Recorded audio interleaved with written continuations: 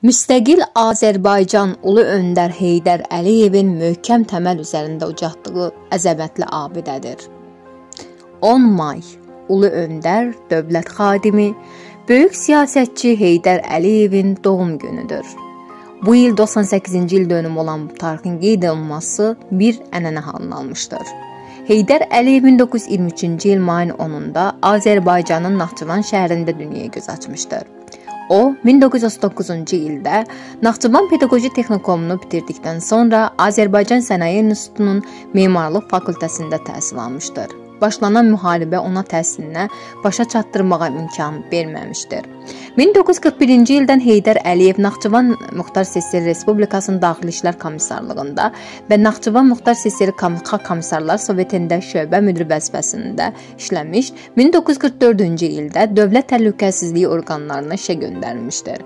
Bu dövrdən təhlükəsizlik orqanları sistemində çalışan Heydər Əliyev 1964-cü ildən Azərbaycan SSR Nazirlər Soveti yanında Dövlət Təhlükəsizliyi Komitəsi sədrinin müavini, birinci müavini 1967-ci ildən isə sədr vəzifəsində işləmiş, general-mayor rütbəsinə qədər yüksəlmişdir. Həmin ildən o Leninqradda xüsusi ali təhsil almış, 1957-ci ildə isə Azərbaycan Dövlət Universitetinin Tarix fakültəsini bitirmişdir.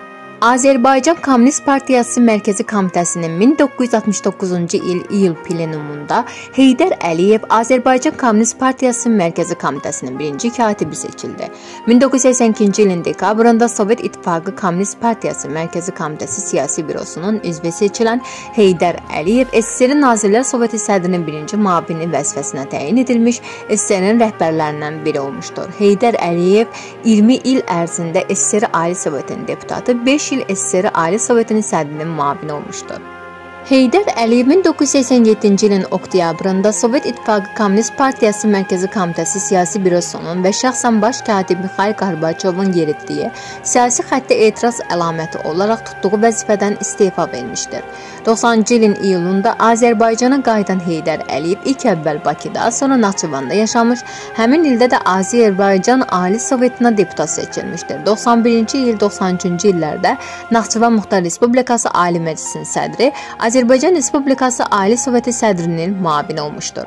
1993-cü ilin may-iyununda ölkədə siyasi böhranın son dərəcə kəskinləşməsi ilə əlaqədar o zamanki rəhbərlik Heydər Əliyevi Bakıya dəvət etmişdir. Heydər Əliyev 90-cı ilin 15 iyununda Azərbaycan Ali Sovetinin sədri seçilmiş, iyulun 24-də isə Milli Məclisin qərarı ilə Azərbaycan Respublikası prezidentinin səlahiyyətlərini icra etməyə başlamışdır. 1993-cü ilin oktyabrın 3-də ümumxalq referendumu nəticəsində Heydər Əliyev Azərbaycan Respublikasının prezidenti seçilmiş. 98-ci ilin oktyabrın 11-də keçirilən seçkilərdə səslərin 76,1%-ni toplayaraq Azərbaycan Respublikasının prezidenti seçilmişdir. 2003-cü il 15 oktyabrda keçirilən prezident seçkilərində namizədliyinin rəsmiləşməsinə razılıq vermiş. Heydər Əliyev səhhətində yaranmış problemlərlə əlaqələr seçkilərdə iştirak etməkdən imtina etmişdir. 2003-cü ilin dekabrın 12-sində Azərbaycanın ulu öndəri Heydər Əliyev Amerika Birləşmiş Ştatlarının Cleveland klinikasında vəfat etmişdir. Heydər Əliyev bütün həyatını xalqa sədaqətlə xidmət həsr etmiş. O fəaliyyətində həmişə xalqa arxalanmış, ən çətin anlarda ona müraciət etmişdir.